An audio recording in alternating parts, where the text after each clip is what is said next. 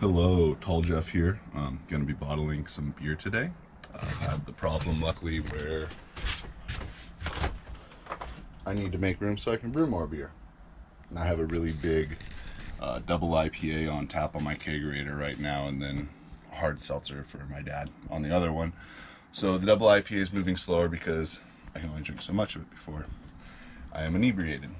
So I am gonna do bottling Gone Fishing today.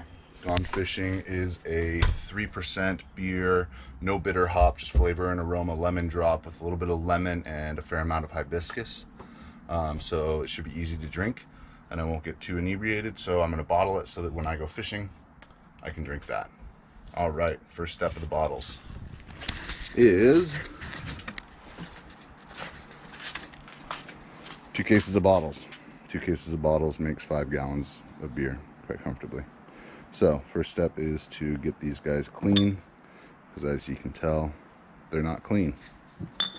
All right, let's start. All right, we have five gallons of hot water. I added PBW. Now we need to get them into the bottles so that they can soak for 30 minutes per PBW's instructions.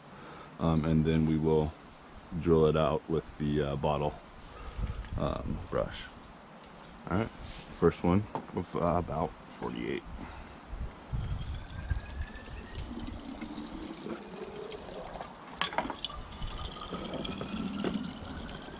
All right, I'm gonna do this 48 more times and then I will come back to you. All right, all 48 bottles now have hot water and PBW. Now we wait 30 minutes. 30 minutes have passed. These are all uh, hot water and PBW cleaned. Now I take this, put it in here.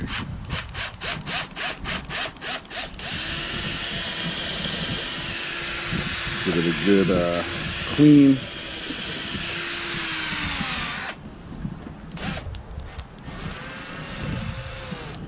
Do that 48 times. I will spare you watching me do it all 48 times because I wouldn't want to watch that either. Be back when all these are done. All right, now they've all been bottle brushed. Now I'm gonna do this to all 48. Wash it off and then use the hose over there. Rinse them out and then Star San. So these were all full of PBW detergent. Um, ran water through them all twice dumped it out now they're empty now we need to add Star San so that they can be disinfected. I'm going to do this 48 times. So I will turn this off so you don't have to watch it all. And when we come back all these will be full of Star San and I will have dumped them out and let them air dry. And then we will start prepping the beer for the bottles. These are full of sanitizer. What we're going to do shake them up empty it out. Stick it upside down in fresh boxes to air dry. And repeat that for all 48 and then we're going to get the uh, beer ready um, with the priming sugar and into here and get the uh, I forget what this is called siphon tube um, with Star San from there.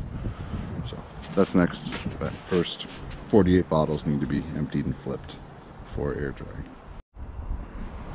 Our beer bottles are upside down, drying, so the Star San works. Make sure all those bubbles are gone and drained out before you start. So that means you need to get your priming sugar together. I went to Northern Brewer's website.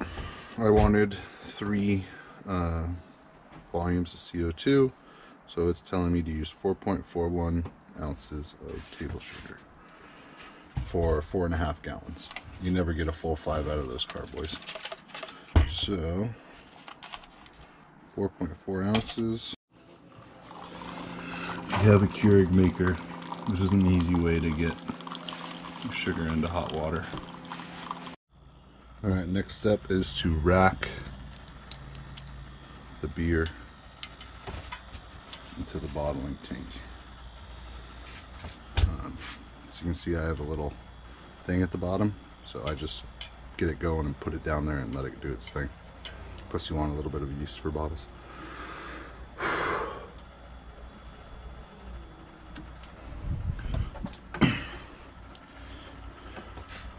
Now if you had a perfect setup, there wouldn't be grass in here. But uh, you don't want any bubbling. You don't want any oxidation. So try to do that. There we go, less bubbles up there, less bubbles down here. All right, I'm gonna let that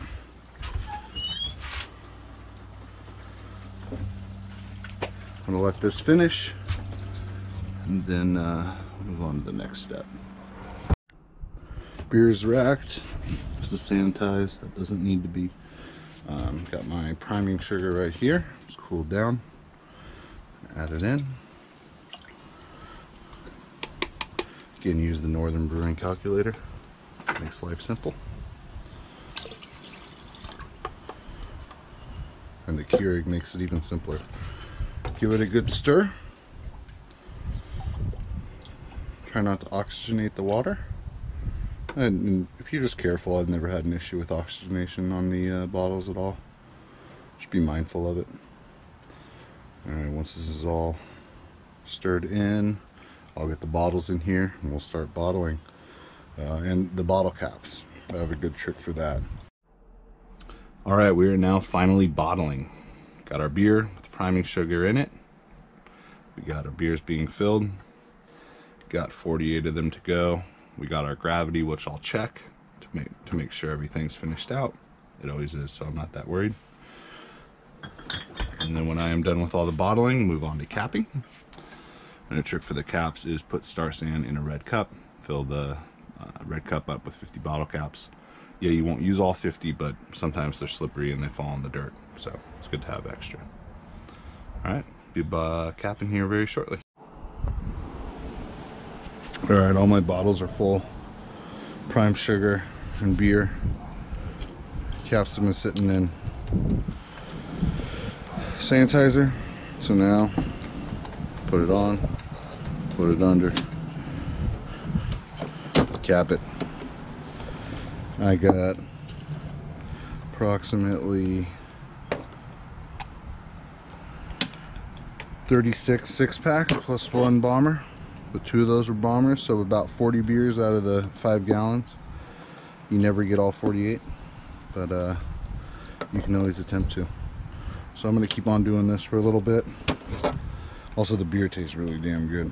I'm looking forward to this on my fishing trips but uh, I'll keep doing this and then uh, when it's all done I'll show you how I store it and how I label it and uh, this should be the video how to bottle beer all right, cheers guys. Be back in a minute. All right, I'm all finished with the brew. Everything's uh, bottled. Now they need to be labeled. So what I do is I buy these Hello My Name Is stickers. Um, I believe it's 250 for like $8.